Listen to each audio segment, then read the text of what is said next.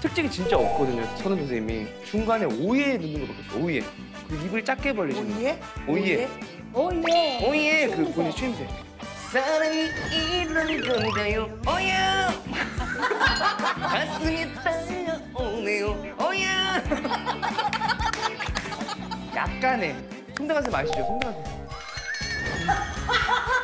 유행가 유행가 신나는 노래 나도 한번 불러본다 이런 이런. 태진아 선생님은 눈 감고 그 음악 하면 당신은 나의 동반 영원한 나의 동반 네. 연사는 못해? 아 김연자 누나는 김연자 누나는 약간 이게 버퍼링이 있어 수은등 같은 거. 어느 길에 걸어도 좋아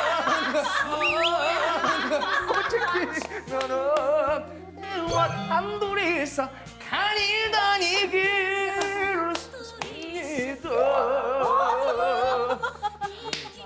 어, 재간꾼이네.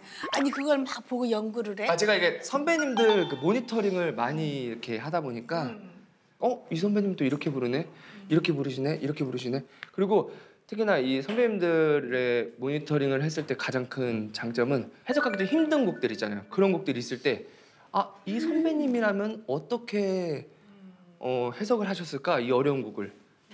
실례로 뭐 새벽비라는 곡을 제가 뭐 가요 무대에서 불러야 된다. 어, 해석하기 너무 힘들어.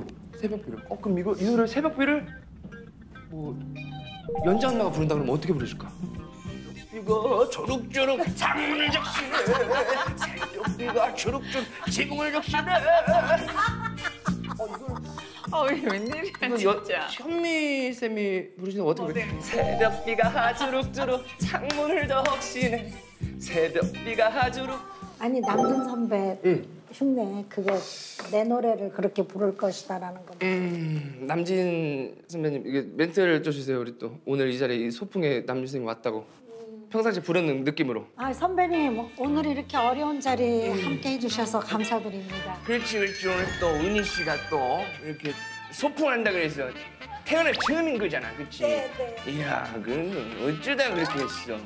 한 번쯤 와야 되거든. 또 와야 되고 솔창이 또 어렸을 때부터 많이 또 일하느라고 일이, 전- 일이, 일이 전부가 아닌데 참말로 그렇지 이 4인용이야? 그래서 내가 못 왔어 5인용이었으면 참말로 이야 씨. 5인용이었으면 같이 와서 맛있게 아까 밥도 처먹고 했을 판이지 이야, 사인용이라서 참 그게 그게 많이 아쉬워 우리. 여튼 간에 너무 항상 너무 아끼는 또 우리 후배님이자 또 너무 멋진 가수고 우리 은희 씨 앞으로의 인생을 항시 응원하겠어요 솔찬이. 됐지? 이 정도면 오케이. 너무 이 너무 똑같아서 그 시기에 참말로 그렇죠? 자, 그렇죠? 많이 똑같다.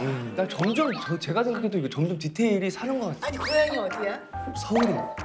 아니 근데 어떻게 그, 인천에서 태어났고 서울에서 좀 약간 지내다가 지금 이제 부천에서 살고 있어. 어 근데 어떻게 그 전라도 전라도 말을. 말을 그렇게 잘해? 그러니까 얼마나 연구했겠어. 또 이게 또 고등학교 때 제가 노래 처음 시작할 때 남진 선생님 같이 다니다 보니까 같이 다녔어? 남진 선생님이 저를 이렇게 맨 처음에 콘서트 게스트로 많이 세워주시고 이래서. 어. 지금도 막 문자 같은 거들이 막 엄청 답장도 빨리빨리 넣으시고. 실제로 봐도 이거 되게 엄청 빨라요 이거. 안 보고서 그래. 어찌냐 어찌냐. 그랬어 야 똑같아. 야 씨, 그랬냐? 이러면서 이런 걸 안 보고 써버리지 그냥. 하고서 그냥 여기 오지 귀여, 너무 귀여우시죠 하고서 길 웃기시려고. 안 보고 써버리지 아 재밌다.